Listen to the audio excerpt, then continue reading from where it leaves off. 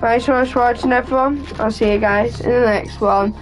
Turkey or cho- turkey or chocolate? The choice is yours. Thanks for watching. Peace. Boglow,